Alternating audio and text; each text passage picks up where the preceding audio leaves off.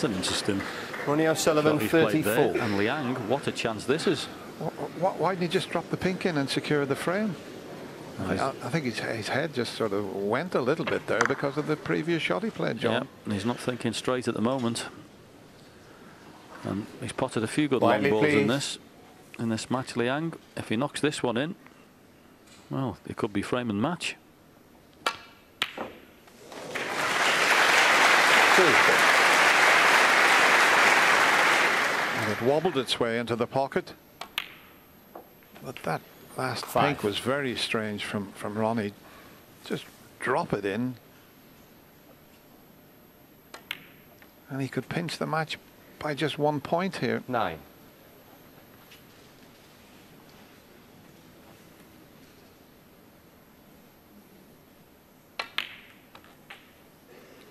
Fourteen. Wants to get absolutely plumb on the black to make it straightforward. Needs to bounce 20. off the cushion. Yeah, and this one could be going absolutely dead weight into the pocket. A little bit of pressure on it, as you can imagine, but this will be very slow.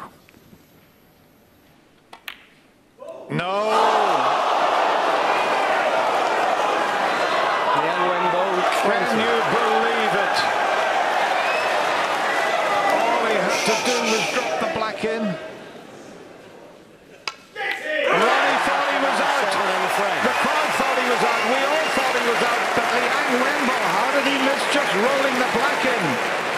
We have a deciding frame. It's five frames all. Look at the black again. He hit it a little bit harder than he needed, I think.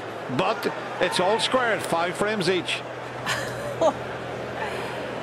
You cannot get your breath. Wow.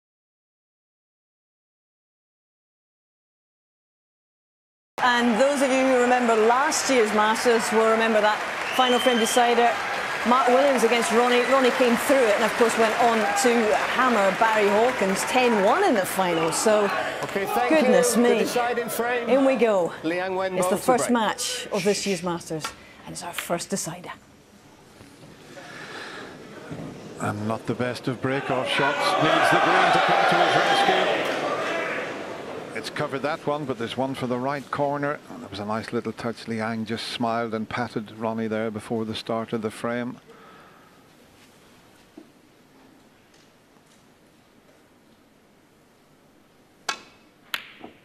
Oh, the cannon on the black has come to his rescue there because he would certainly have left Liang Wenbo in amongst them.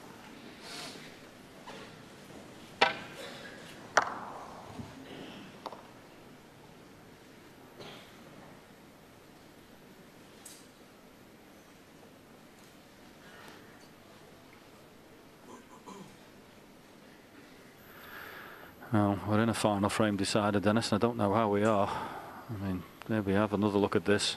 Why not just play it dead weight? I mean, the first, you know, the first day of the tournament, you know, the cloths are thin, you know, they're- slide in a little bit. Just drop it in the jaws and let it drop in.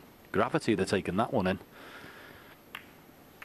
Amazing, and they'll do very well here. They need some mental fortitude to put that behind him to win the final frame. Should have been all over.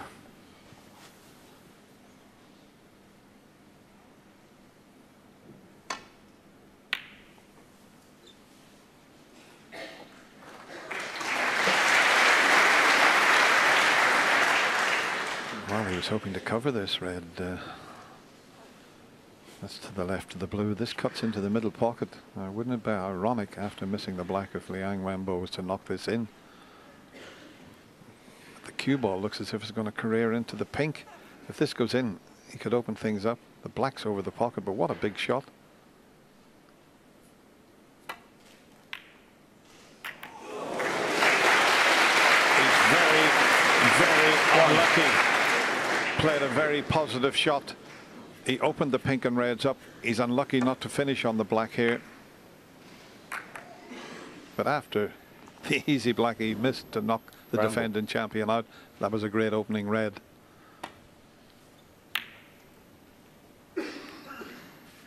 Yeah, he Yeah, certainly was unlucky. won. That was a great pop. But you know what it's like, Dennis, when you miss your opportunities at this game. I don't know why we say it, but the snooker gods don't forgive you, do they? Seems like there's your opportunity. You've just missed it. expect a bad run of the balls because he got one there. That was an excellent pot.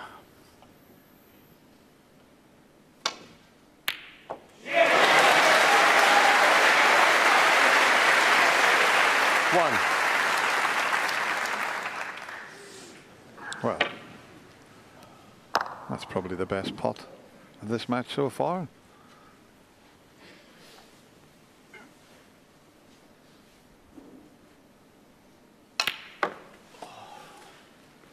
Fully stretched there. You can hear the groan from Ronnie. It's an Four. opportunity, and it's not a bad one.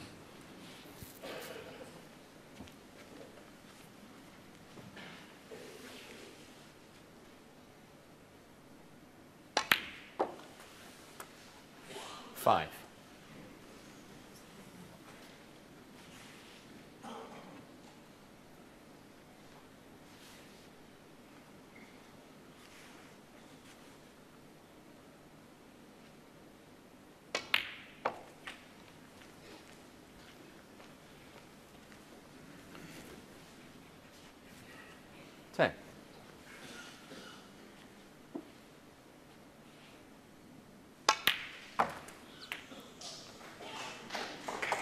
Eleven. I think that red, the closest to the black, well, I should say second closest to the black on the right hand side is available. Just have to be careful. Cue ball was always going close to that corner pocket. So this is not Sixteen. an easy pot. Well, and you've seen the black that Liang Wenbo's missed in the last frame. Nothing's easy.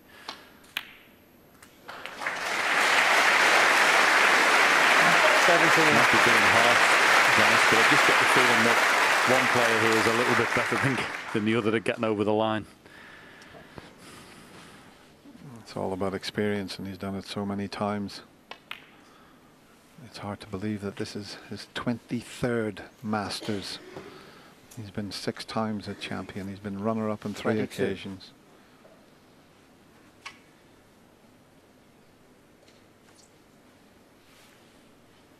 He's seen everything there is to see in the game of snooker.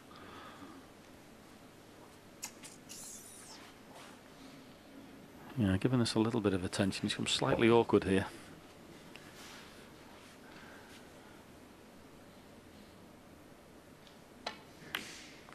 Just decided to Twenty-three. hold for the black. Originally he was looking whether he was going to stun up for blue, but didn't fancy playing through the gap.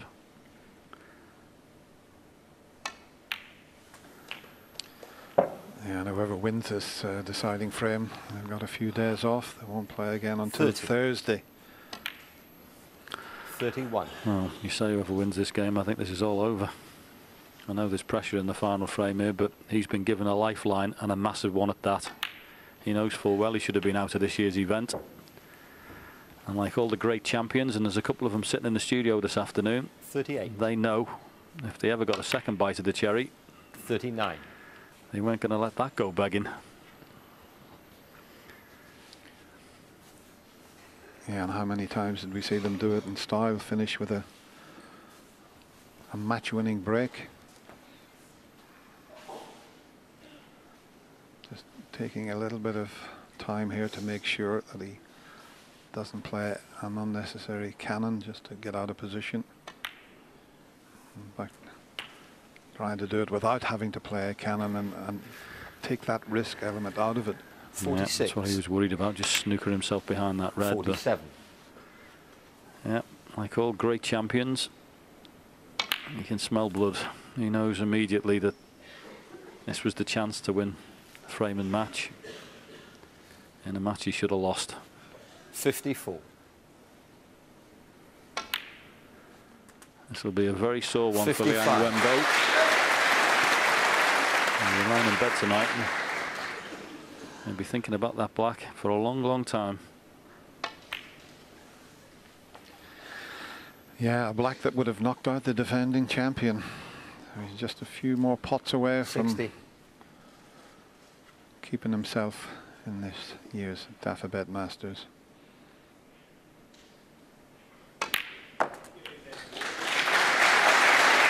This is the 61. first match in the first 6-5. I think you can get used to the idea there'll be many more of them in this year's event.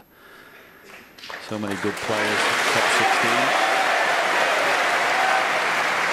16. 66. Yeah, you got to feel a little bit sorry for Liang 67. Wenbo. He played so well, lost the two opening frames, come back, and then he won three frames in a row and was just that one pot away from knocking out Ronnie O'Sullivan. 70. But how well has he taken these, Dennis? You know, final frame decider. And he's waltzed round the table here like he's in the club. He really is one of the best closers out of matches I've ever seen.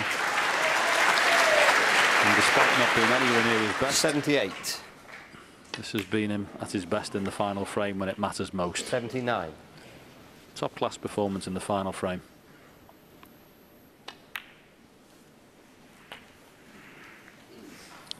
Tricky red.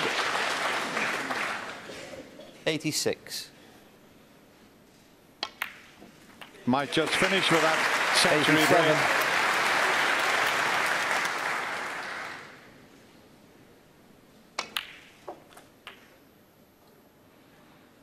What a time to make your highest break of the match. A frame that takes you into the next round.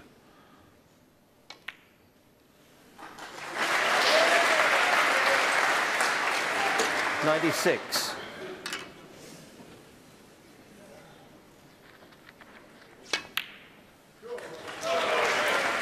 Yes, the crowd will be delighted that their favourite has stayed in this year's event. Trust me, there'll be quite a few players who'll be gutted he has.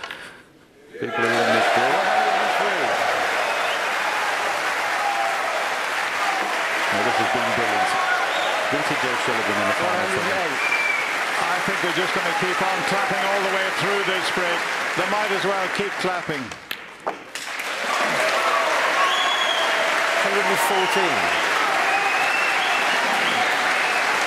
Well, you can't take it away from the defending champion, Ronnie O'Sullivan. Big smiles and hugs from his good friend, Liang Wenbo, who was just one pot away from knocking out the favourite and the defending champion. But in the end, he did it as great champions always do it. He did it in style with that magnificent break of 121.